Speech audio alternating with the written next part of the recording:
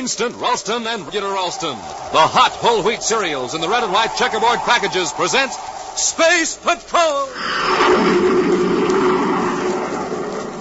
High adventure in the wild, vast reaches of space. Missions of daring in the name of interplanetary justice. Travel into the future with Buzz Corry, Commander in Chief of Space Patrol!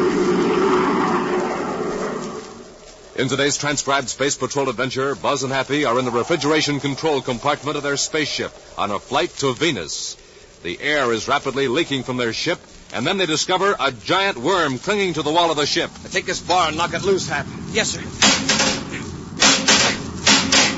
It won't come loose. It's as hard as metal. You're right. That's what it eats. It's feeding on the Endurium bulkhead. That's how the air is escaping. Smoking rockets, Commander. It's eating clear through the hull. We'll suffocate. We'll return in just a moment with today's exciting Space Patrol adventure, the Iron Eaters of Planet X. Space Patrollers, have you entered the sensational Name the Planet contest yet? Well, you better hurry. Time's going fast, and you don't want to be left out.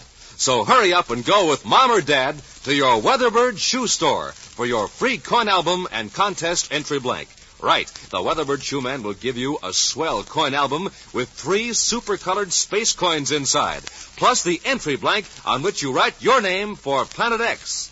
Yes, you just name that tremendous new planet 5,000 times bigger than Earth. And your name for Planet X can win you the giant rocket clubhouse on wheels or one of the 1,750 other big prizes. Now, just imagine, gang, a 35 foot long, 10,000 pound rocket clubhouse on wheels with a big, honest to goodness motor truck to pull it. And inside the rocket clubhouse are built in bunks, lockers, electric lights, cooking equipment, all sorts of things for real Space Patrol living for you and your pals. And don't forget, the Space Patroller who wins the rocket clubhouse will also win the big motor truck and $1,500 cash. But don't wait, gang. Get started now on winning the Rocket Clubhouse or one of the 1,750 other swell prizes. Hurry to your Weatherbird shoe store now and enter the Name the Planet contest today.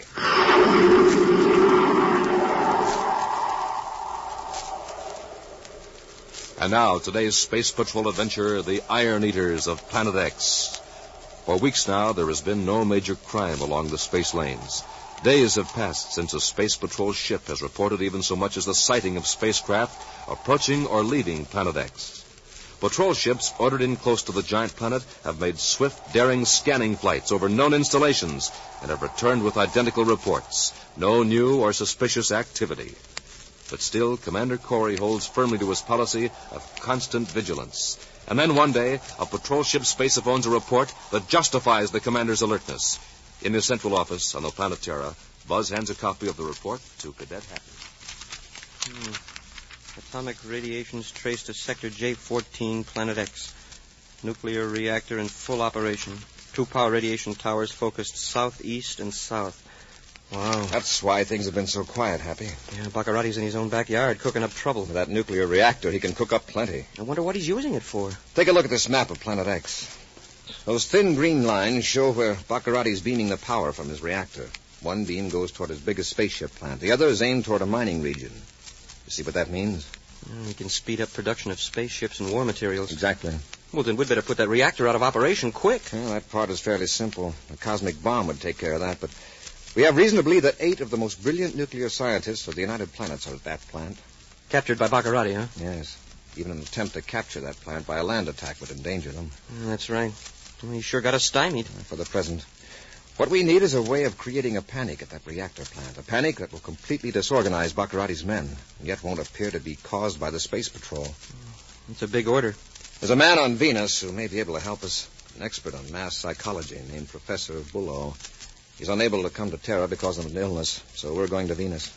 Well, why couldn't you just... Why couldn't I spaceophone him? This is a matter I want to keep completely secret. Yeah, with Bacarratti's spies still around, he might intercept a spaceophone message. Right. Let's get over to the spaceport supply depot, Hamp. Oh, your appointment with uh, Bert Gant. Mm-hmm. He's a new civilian supervisor in the ship's supplies section. It's just a courtesy call, but it might help him to let him know that Space Patrol understands his problems. Well, he'll probably have plenty. The last man on that job couldn't take it after this trouble with Bacarratti started. Bert Gant's a younger man, Hap. Let's hope he's a capable one.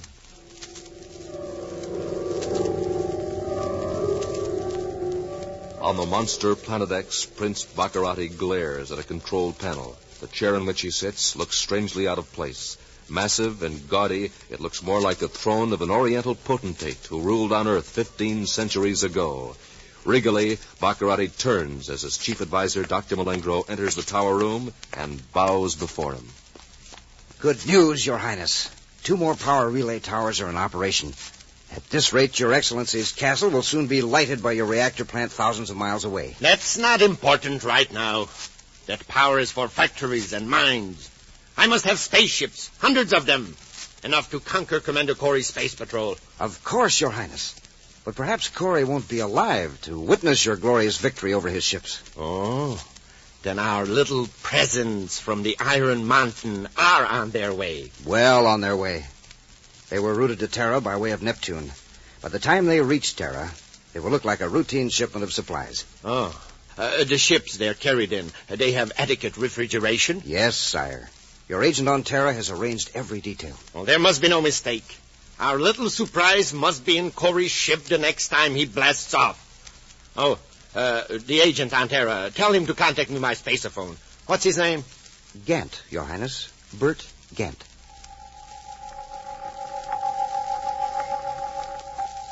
In an office of the Spaceport Supply Depot on Terra, Buzz Corry and Cadet Happy are having a friendly chat with the new civilian supervisor on the murmur of a battery of auditing machines. Yeah, I'll be blasting off for Venus in a few hours. You'll be working closely with the supervisor at Venus City Spaceport.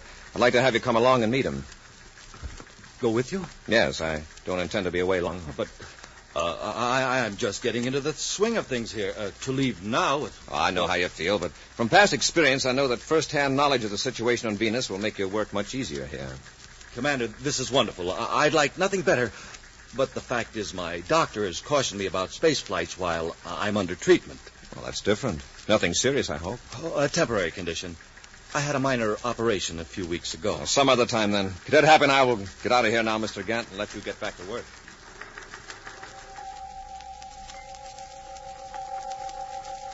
Several hours later, in his private living quarters, Bert Gant tunes a spaceophone transmitter to a rarely used frequency, then clicks on a scrambler circuit.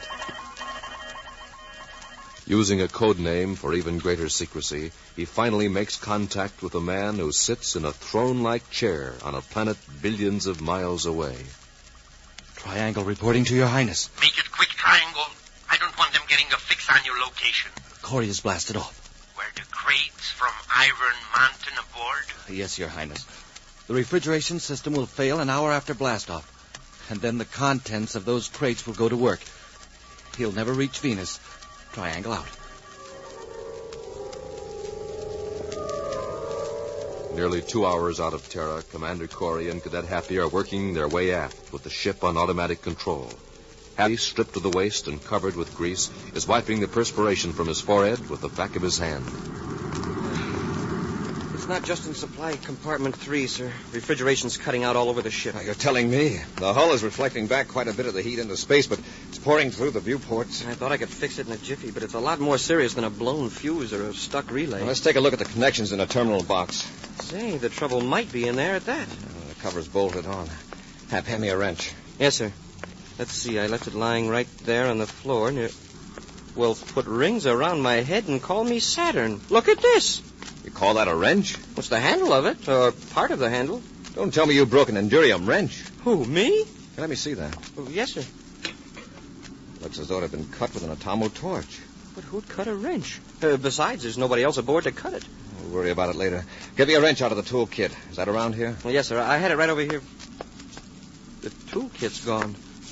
Hey, Commander, I know you think I'm space happy, but it's true. I lugged it in here and, and set it down. Somebody must be aboard. A stowaway. We'd better search. Hold it, Happy. Look down there. Aren't those the plastic handles of some of the tools? Smoking rockets. That's what they are, all right. I think you're right about a stowaway. Then he made the reefer system conk out. Wait till I get my hands on him. Commander, what's that? Up in the bulkhead. It looks like a big welt on the metal. But, Commander, it's moving. I, I think I saw it move. You're right. It's crawling along like a like a worm, a gigantic worm.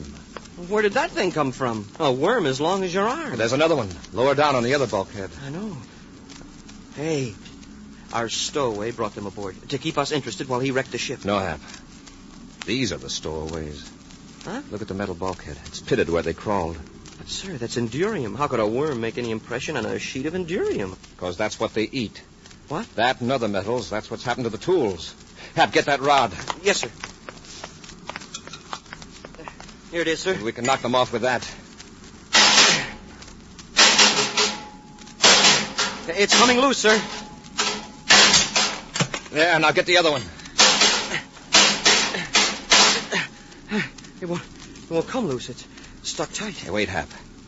Lean close to it and listen. It's feeding. Feeding on the metal bulkhead. Yes. Got to shut this compartment off in a hurry before this thing eats a bigger hole. Yes, sir. Now let's get forward and boost the oxygen supply. Commander, look. Out there in the corridor. There are dozens of them. All our air's escaping. We're too late. They've eaten through the hull. We'll return to Space Patrol in just a moment. You have 1,750 chances to win in the Name the Planet contest. Right, Space Patrollers. 1,750 chances to win a wonderful prize, like a Schwinn bicycle, for example. 750 Schwinn varsity bicycles are being given away. Schwinn, the lightweight bike. Plenty sharp looking, plenty rugged, with three speed gear shift and two wheel handbrakes. And listen, you have a thousand chances to win a beautiful Space Patrol wristwatch, or a super powered autosonic rifle, a streamlined outer space helmet, or a valuable Space Patrol emergency kit. And remember, every Space Patroller can get a free prize. Just have mom or dad go with you to your Weatherbird shoe store for your free space coin album. Now, inside it, you'll find your Name the Planet contest entry blank and free space coins. Terrific coins, big as a half dollar, with designs of planets on them in starlight silver. So good looking, you'll want to get more and build a real space coin collection. And here's how. Inside every new package of good hot Ralston, you'll find another swell space coin to add to your album. And outside of every new Hot Ralston package, directions for entering the contest in case there's no Weatherbird shoe store near you. Look for the package with a picture of the Commander or Cadet Happy on the front. So go to your Weatherbird shoe store for your free coin album, get a package of good hot Ralston with a free space coin, and enter the Name the Planet contest now.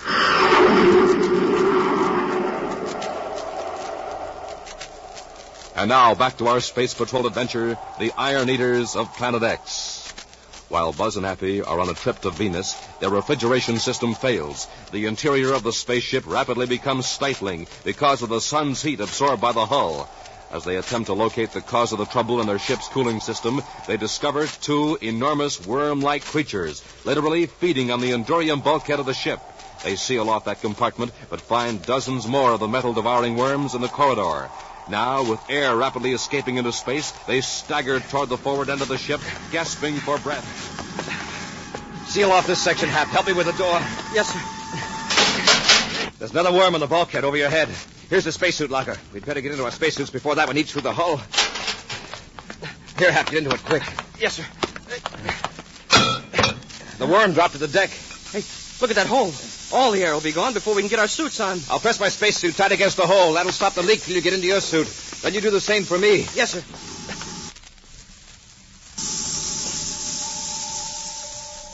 Fighting against blacking out from lack of oxygen, Happy struggles into his spacesuit. Then, revived by the air supply within the suit, he holds his gloved hand over the hole in the ship while Buzz dons his suit.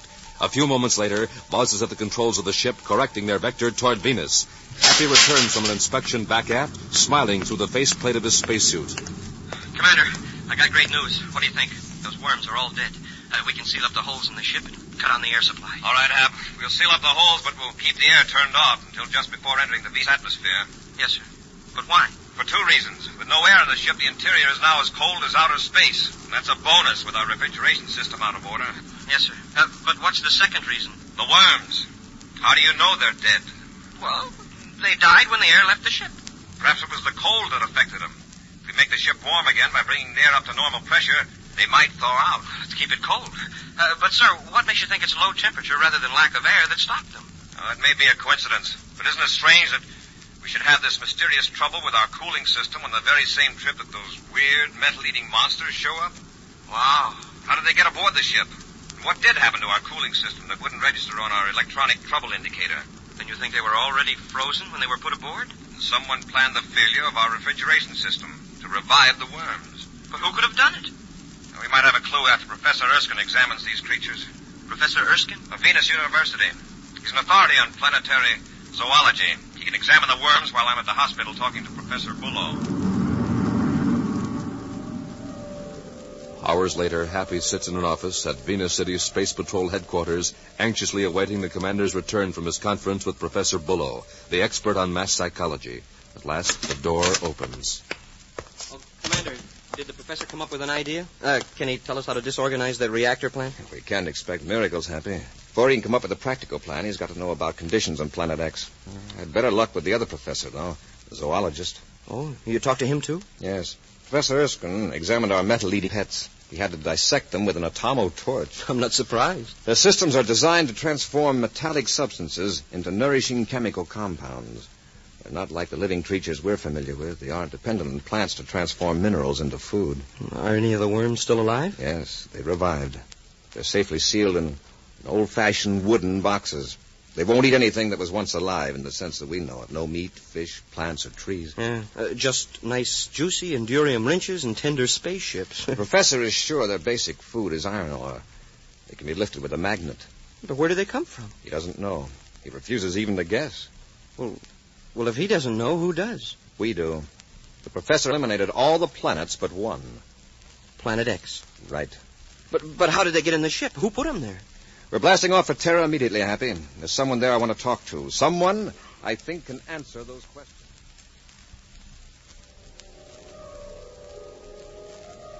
Meantime, in Prince Bacarratti's castle, His Highness is receiving an urgent spaceophone message from Terra. Unscrambled, a frantic voice is earnestly pleading. Something went wrong, Your Highness. Corry is still alive. He's coming back to Terra. I've already heard the news triangle from my agents on Venus. Question me. He probably suspects me as it is. If he gives me a brainograph test, he'll know everything. You've got to protect me. Ah, don't worry. Corry will never question you. I'll order one of my other agents on Terra to take care of you. His name is Brugger. Now, don't worry. Thank you, Your Highness. Thank you. Bacarratti out. Yes, Brugger will take good care of Bert Gant, the incompetent bungler. Back on Terra in his private quarters, Bert Gant paces the floor nervously. In a corner is a bag packed with a few belongings. At the sound of footsteps outside his room, he stops pacing, eyes staring wildly at the door. And then, Who is it? Brugger, open up. Oh, you've come. Wonderful. I've been worried. My bags are all packed. I'm ready to go. Put it down, Gant. You aren't going anywhere. But, but His Highness said you would take care of me. That's right. With this. No. No, don't, don't shoot me. This is all a mistake. Yeah. You made it. His Highness doesn't like bunglers. Oh, you can't. Uh, there are other people in the building. They'll hear the gun. It's silent. Now lie down so you won't bounce. No. No, Bru, Bru, Brugger, please. Drop it, Brugger. Huh? I said drop it. Oh, you came just in time. You came just in time. Do you know what he was going to do? Yes, I know, and I know why he was going to do it. What? What do you mean? Don't play innocent, Gant. You supervised the loading of my ship. You saw to it that those metal-eating worms were loaded in the refrigeration compartment in metal boxes. Oh, really, I, I, You fixed the solenoids and the magnetic heating exchange pumps so they conked out. As the ship warmed up inside, the worms thawed and ate their way out. I didn't do it. Honestly, Commander. You had it done then, at Bacarratti's orders.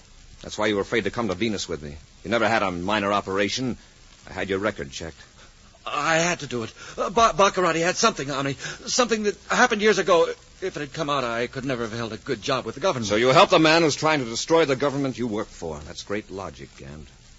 Now give it to me straight and fast. I'm in a hurry. Those worms came from Planet X, didn't they? Yes. Where on Planet X? From the Iron Mountain. It has a high percentage of iron ore. The worms are thick on it and in it. It's like an anthill. X is a big planet. Where is Iron Mountain? In sector L15, up about a hundred miles east of the Colossus River. Happy. Yes, sir. We'll see that Gant and Brugger are locked up. And we'll blast off for Planet X. First, we'll pick up some fishing tackle. Fishing tackle, Yes, sir? several tons of steel netting. Now, let's get these fellows to headquarters.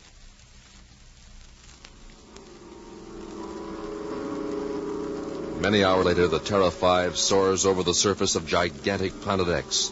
No enemy ships challenge them because Bacarratti's warning system, destroyed by Buzz and Happy on a previous foray, is still virtually useless. Mile after mile of the vast planet rolls under them. And then finally, a barren peak looms blackly ahead against the zinc sun. That must be Iron Mountain, sir. It checks with the grid coordinates. Notice it's not a growing thing for hundreds of miles, not even a weed. The metal-eating worms have this area all to themselves. They can have it. All right, Hap, I'm going to cut our velocity and get ready to land at the base of the mountains. Open the bomb bay.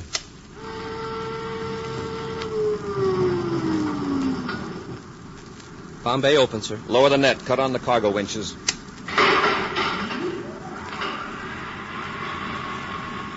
That's enough. Now, when we land, that tangle of steel netting will be stretched out on the ground several feet behind the ship. Stand by to cut rockets. Standing by, sir. Cut rockets. Full repeller ray.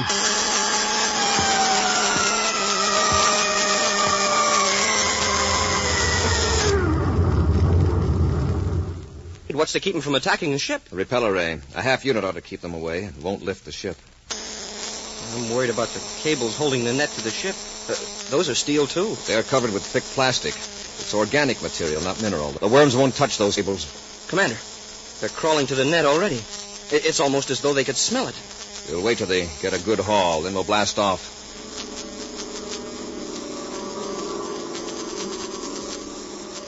Within a few minutes, the heavy steel net is a mass of giant crawling creatures, eagerly devouring what to them is a rare delicacy. Finally, Buzz turns to Happy. We'll blast off now before they do much damage to the net. Cut on the rear magnetic beam. That'll hold them to the net. And also keep chewed up pieces of the net from falling. Yes, sir. We'll rise up several feet with the repeller ray, Hap, so the rocket blast won't ruin our dinner party. Fire rockets. Cut repeller ray.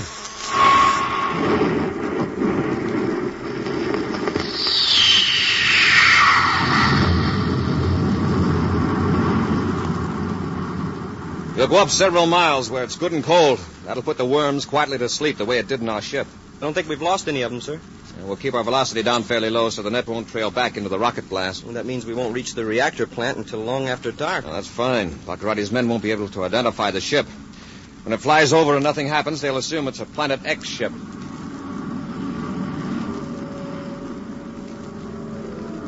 High above Planet X, the Terra 5, with its strange cargo dangling beneath it, roars toward the nuclear reactor plant through the utter blackness. Then through the infrared viewscope, Happy sights two tall metal towers rising several hundred yards from a group of massive buildings. There it is, sir. I'm Going to fly as close to those towers as I can so the net won't have to fall far. Professor Erskine assures me that the worms are practically indestructible and have absolutely no sense of pain. Still, I'm going to make it as easy as possible. The net's just a few feet off the ground, sir. All right, Hap. I'm going to fire nose rockets and apply the repeller ray. For a couple of seconds, we'll be hovering right next to the towers. Be ready to release the net. Yes, sir. Cut it loose. All clear, sir. Let's get away from here.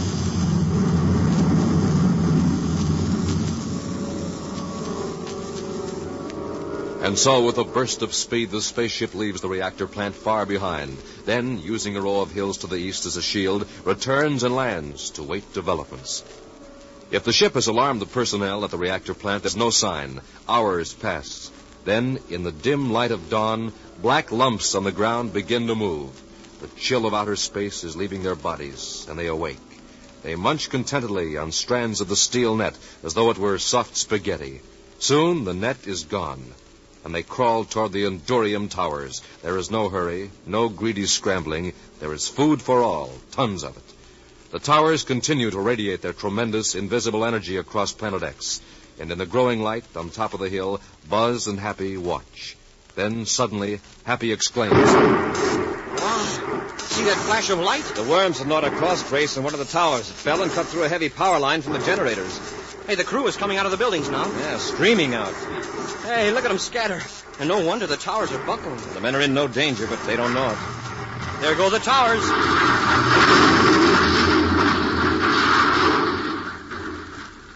That mob doesn't know what to make of it. Uh, But, sir, a few of them are running toward this hill. Well, they must have seen us. Yes, and so did the rest of them. They're heading the other way, toward the river. Scared to death, I guess. Happy. How many men do you count running toward the hill? Well, let's see. Uh, one, two, mm, mm, eight. That's what I got. Those are the men we came for, Happy. The atomic experts Bacarratti abducted. Let's go down and meet them, Hap. Yes, sir. Uh, you know, Commander, I've always heard that a worm turns, uh, but I never expected to see a worm do anybody a good turn. That's my cadet.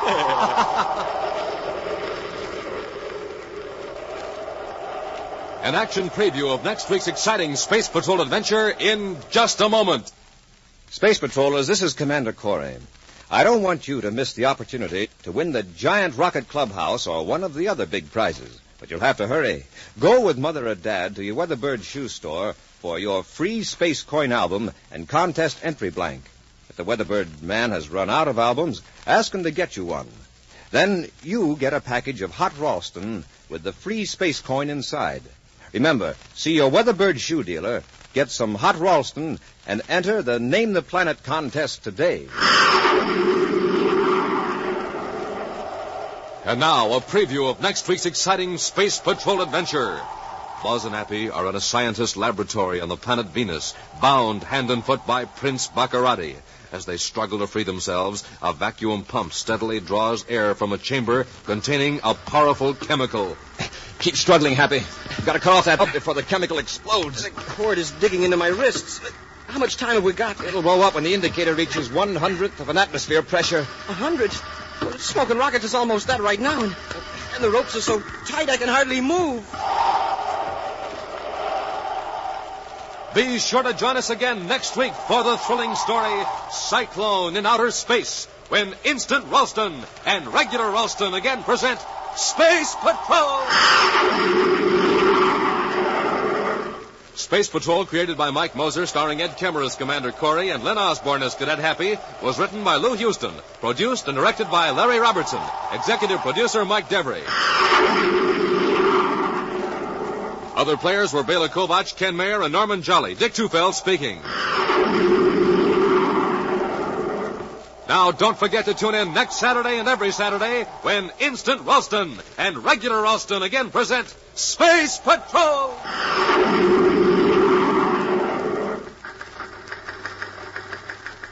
This is Dick Tufeld in St. Louis reporting on the twin jet Air Force fighter, the McDonnell Voodoo XF 88A. In a moment, we'll hear from the noted test pilot who flies this plane, Phil Houghton. Speed of the Voodoo is a military secret, but it's plenty fast. Span is 40 feet, length 55, weight 10 tons. And now, Phil Houghton, recorded this morning at Lambert Airfield. After seeing the voodoo, I guess you know why I like my job.